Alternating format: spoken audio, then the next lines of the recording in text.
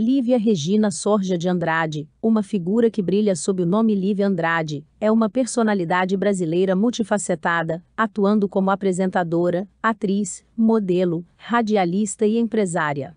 Sua trajetória é marcada por sua presença cativante e versatilidade nas telas, e no mundo dos negócios Lívia, ganhou notoriedade ao se tornar parte fundamental do elenco do popular quadro Jogo dos Pontinhos, que faz parte do renomado programa Silvio Santos.